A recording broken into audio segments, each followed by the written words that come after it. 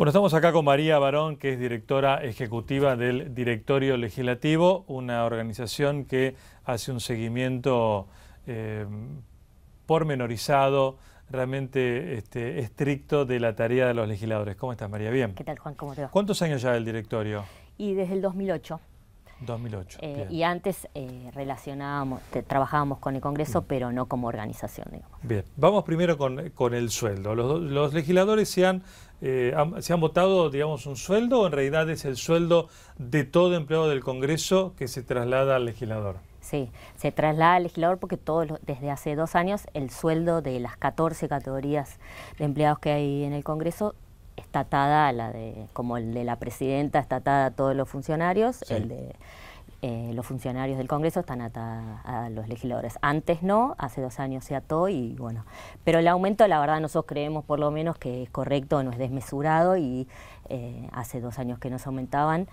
Eh, hace dos años se aumentaron el 100% y eso fue un salto que fue bastante escandaloso en términos de comparación con otros rubros. ¿no? Sí.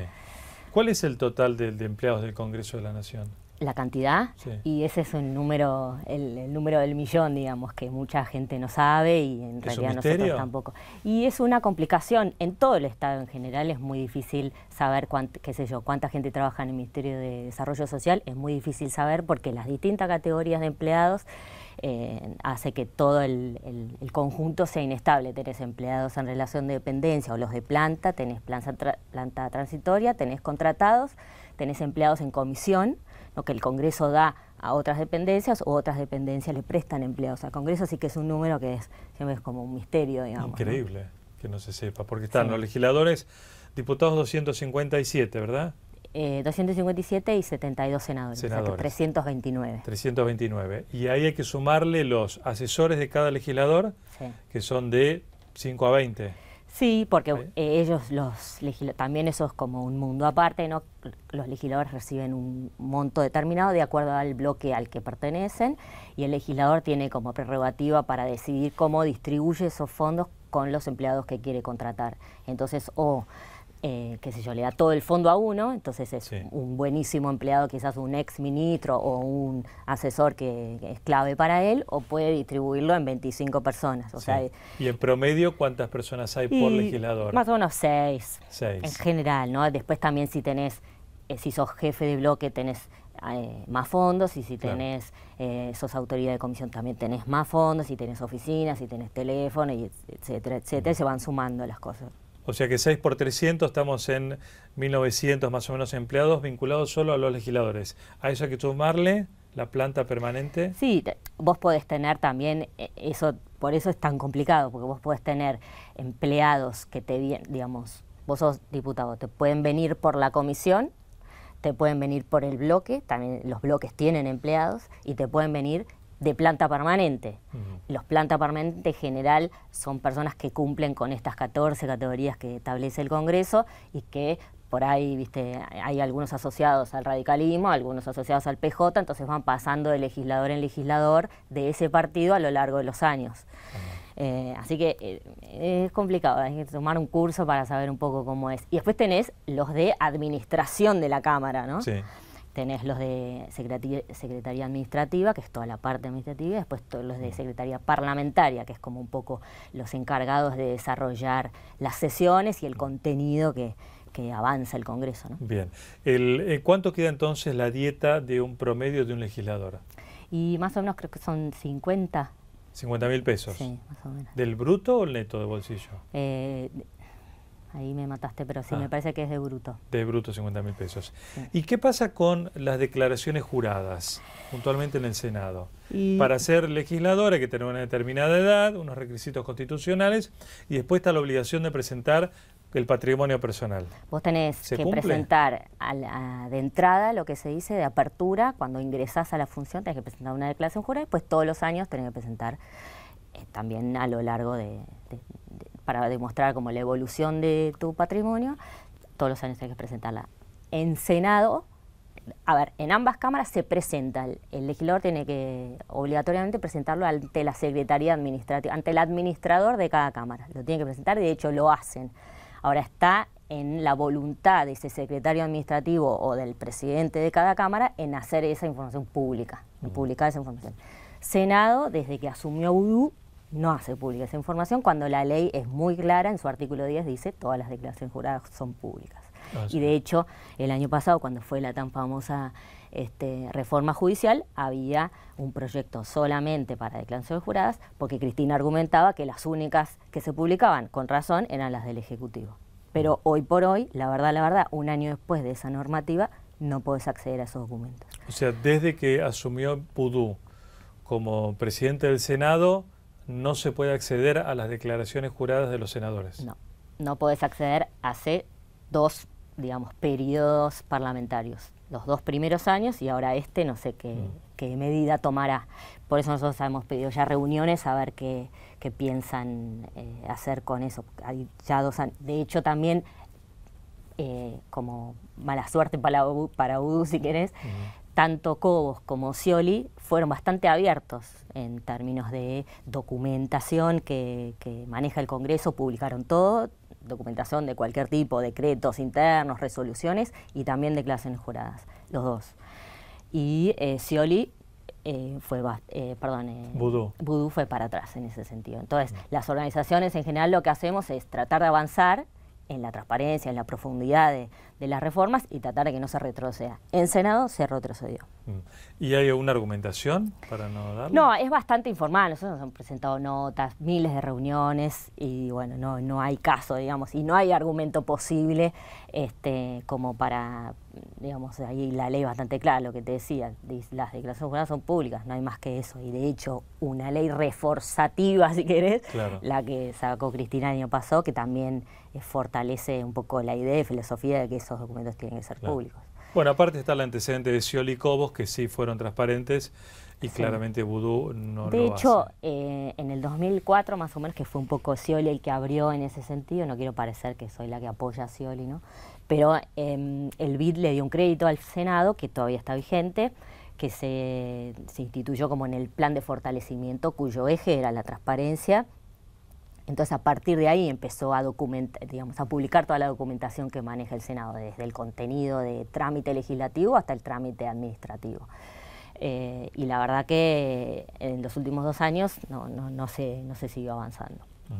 Y en términos de cantidad de sesiones, eh, ¿Se avanza o se retrocede? Y el promedio es más o menos igual. Tuvimos una baja, eh, si querés, en, las elecciones del año pasado, no, sino las anteriores, o sea, hace dos años y pico. Eh, pero en general el promedio es eh, que se aprueban más o menos 130 proyectos por año de los últimos 20 años. Eh, tampoco es que nosotros estamos evaluando todo el tiempo si, se mantiene ese promedio está bien y si, baja está mal, digamos, pues también tenés que analizar qué tipo de normativa el Congreso sanciona. Si vos tenés, no sé, como el año pasado, este, no sé, este, celebrar la eh, competencia de mountain bike en Tucumán, bueno, no. pero si tenés, no sé, como mucha gente valora, ¿no? Registro violadores o qué sé yo, eh, muerte digna, proyectos que son muy... Este, Trascendentes, Trascendentes y que van al núcleo de, un problema determinado, ahí sí, ¿no? En, el, en estos últimos dos o tres años tenés de ambos. Eh, y la verdad, la verdad, que si querés, eh, digamos, no, no puedo decir que no han trabajado, han trabajado y bastante. Domínguez, por ejemplo, el presidente de la Cámara de Diputados, es muy este, inquieto, por decirlo de un modo, entonces ah. siempre está tratando de generar este, sesiones y, tratar de, sacar normativa, que es un poco lo que le pide el Ejecutivo y también eh, los demás bloques. Y la verdad también es que han, no esta cosa de mito de que el Ejecutivo siempre impone sus proyectos, es cierto, pero también en el año pasado hubo como 20 proyectos que, fueron aprobados e iniciados por partidos de la oposición, que eso también... De la oposición. Sí. En términos de asistencia, eh, ¿hay una asistencia regular de los legisladores? Eh, bueno, tenés ahí como la división, ¿asistencia a qué? Asistencia a las sesiones, eh, en la mayoría, que es la mayoría que tenemos hace varios años, no hay posibilidad, o sea, no hay, no hay chance de que un legislador te falte a la sesión. hoy por hoy. Te matan, te van a buscar a tu casa y de hecho no solamente eso, sino que es bastante organizado. Vos tenés la sesión, suponete mañana y hoy ya están todos acá.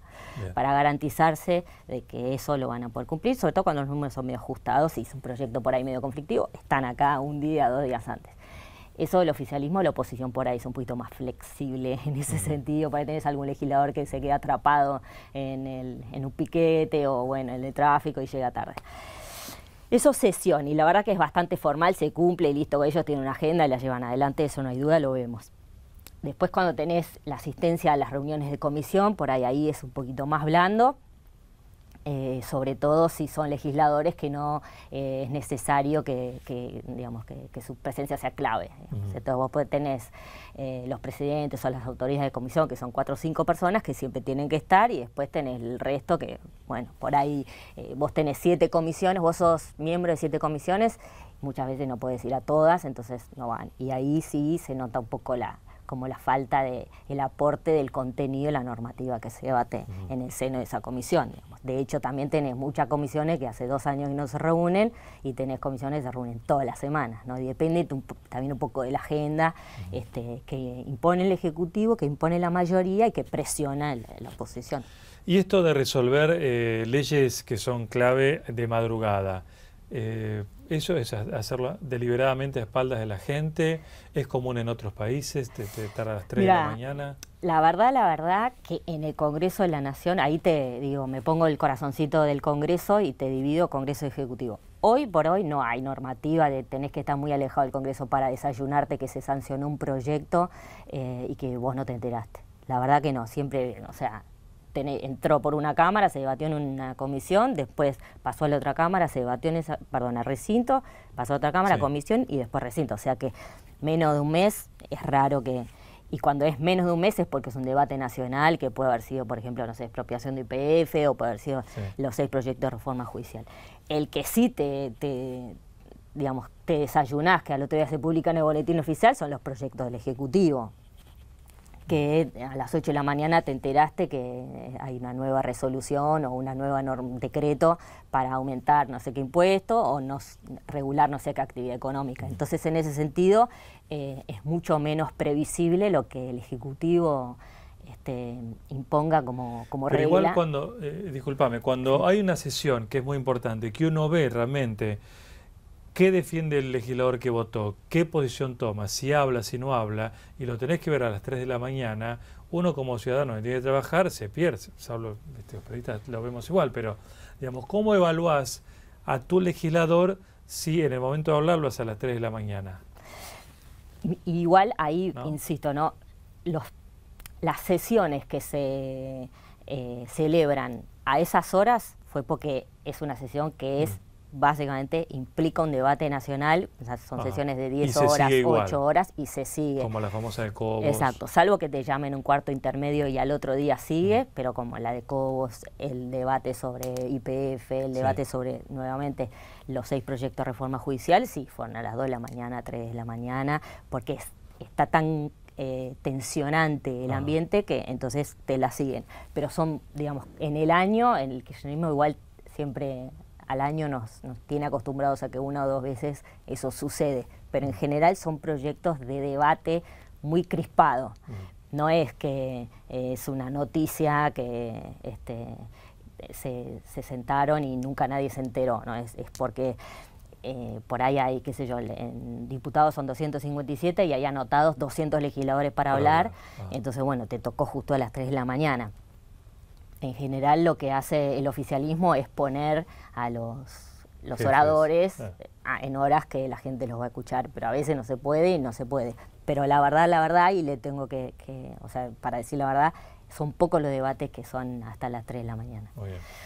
Bueno, hay un montón de información en la página del Directorio Legislativo para consultar, que obviamente de interés público, ¿eh? que es eh, directoriolegislativo.org. Sí, .org. Org, muy bien. Gracias, María. Gracias.